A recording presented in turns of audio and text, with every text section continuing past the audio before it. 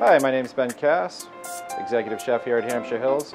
Welcome back, and as everybody is still cooped up in the home and hopefully observing all the coronavirus uh, shelter in place or what have you, um, I'm going to show you today how to make a really easy and simple bread, and uh, hopefully you enjoy it.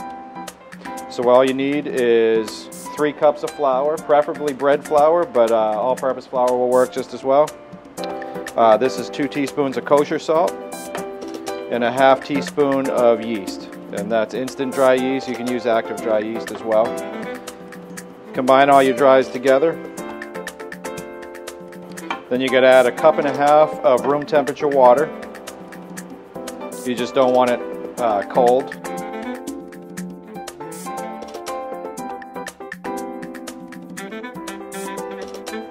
And we're going to let this proof or ferment for a minimum of 12 hours and upwards of 24 hours. So it's a great thing. You can put it together, put the dough together at dinner time or before you make your dinner, and then it's ready to go by the next morning or next uh, afternoon.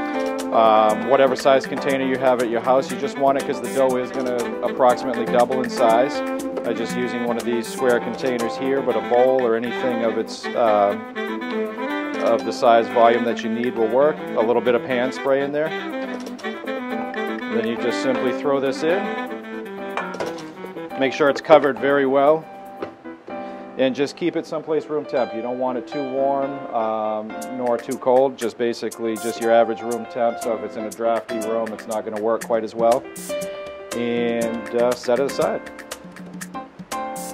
This dough right here is sat for approximately 18 hours. As you can see, it's just about doubled in volume and it should kind of look like Jabba the Hutt slithering around a little bit and bubbling.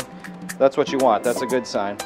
Um, I like to use a baguette pan. It just makes it easier. This is a very, very sticky dough and it's kind of tricky to work with. It's, it's uh, not adaptable to making perfect shape, so that's where the baguette pans come in. Um, but you can also just cook it straight on a sheet pan or cut it into dinner rolls. Um, all I do, just a little bit of pan spray. And a lot of flour.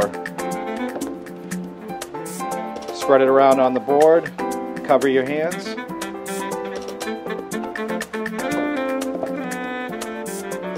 And I try to just let gravity plunk it out. The less you mess with it, the better, because it is super sticky. Then I just give it a one flip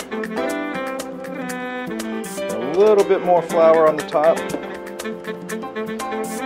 And all you really need to do now is just to shape it into a rectangle. And then taking pretty much any knife, but just a French knife I find works best. Just divide it as evenly as you can, but again, it's not going to be perfect. And all I do is the floured side, I just kind of roll a little bit and just form it into a quick cylinder and then just stretch it out to the shape of your baguette pan. And again, you can also do this right on a, uh, a sheet pan as well.